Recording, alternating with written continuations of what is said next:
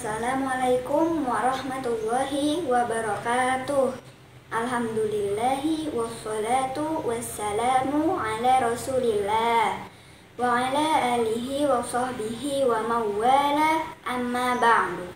Teman-temanku yang dirahmati Allah, bagaimana kabarnya hari ini? Semoga kalian semua masih berpuasa ya, insya Allah. Karena puasa di, bul di bulan Ramadan ini adalah salah satu rukun Islam yang hukumnya wajib dijalankan oleh semua umat Islam. Pada kesempatan kali ini, aku akan menyampaikan 5 hikmah dari berpuasa yang perlu kalian ketahui.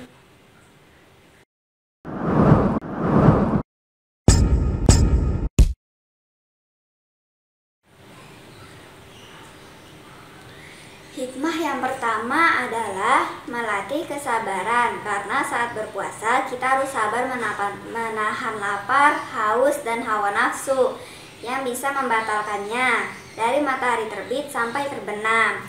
Kita harus sabar dan ikhlas agar puasa kita tidak sia-sia. Dalam salah satu hadis yang berbunyi, puasa bukanlah hanya menahan makan dan minum saja, akan tetapi, puasa adalah dengan menahan diri dari perkataan lawu dan rofat. Apabila ada seseorang yang mencelamu atau berbuat usil kepadamu, katakanlah padanya, aku sedang berpuasa, aku sedang berpuasa. Hadis riwayat Ibnu Majah dan Al-Hakim. Hikmah yang kedua adalah meningkatkan ketakwaan kepada Allah. Karena dengan berpuasa kita menaati perintah yang diberikan oleh Allah.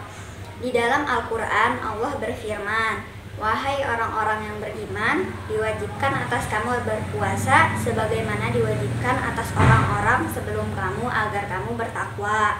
Surah Al-Baqarah ayat 183 Ayat ini menunjukkan salah satu hikmah puasa di bulan Ramadan agar umat Islam dapat menggapai derajat takwa yang mulia.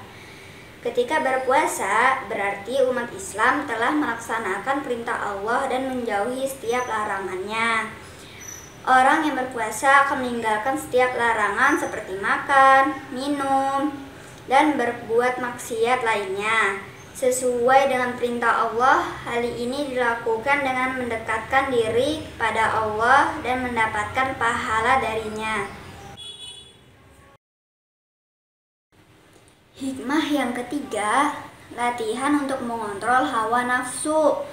Puasa secara langsung melatih diri dan jiwa dari serangan hawa nafsu. Dengan berpuasa karena Allah, Seseorang diharapkan dapat menguasai dan mengontrol perbuatan-perbuatan yang dilarang. Ketika sedang menjalankan ibadah puasa, alangkah baiknya menghabiskan waktu untuk mengerjakan hal-hal positif yang bermanfaat seperti zikir, membaca Al-Quran, dan lain-lain yang dapat menciptakan kebaikan dan kebahagiaan dunia serta akhirat saat diri dapat meninggalkan kesenangan dunia sejenak. Saat itulah dapat dikatakan bahwa dia telah mampu mengendalikan jiwa dan hawa nafsunya. Dalam hadis Qudsi, Allah berfirman, "Dia telah meninggalkan syahwat dan makanan karena Aku." Hikmah yang keempat, Hikmah puasa yang keempat adalah meningkatkan kepekaan perasaan terhadap orang-orang di sekitar yang kurang mampu atau miskin. Ketika berpuasa, orang akan merasa kelaparan dan kehausan. Dengan ini, seseorang akan merasakan apa yang selama ini dirasakan oleh orang-orang miskin dan fakir yang hidupnya penuh dengan kekurangan. Hikmah puasa Ramadan ini membuat kita ikut merasakan penderitaan orang yang kurang beruntung secara ekonomi. Ketika kita menahan lapar dan haus saat puasa, perasaan ini jugalah yang selalu dirasakan oleh para fakir miskin setiap harinya di luar bulan puasa. Merasakan emosi-emosi seperti ini membuat kita dapat semakin berempati dan bersimpati kepada mereka yang kurang beruntung.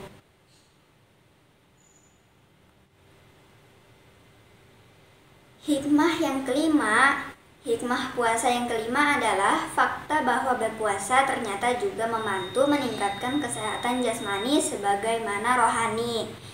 Dengan berpuasa, kebutuhan rohani akan kedekatan dengan Allah dapat terpenuhi dan oleh karenanya mendatangkan pula manfaat berupa pahala dan kebaikan jasmani.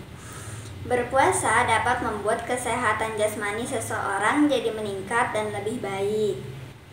Hal ini dikarenakan ketika puasa, orang akan tidak banyak melakukan aktivitas makan dan minum sebagaimana biasanya.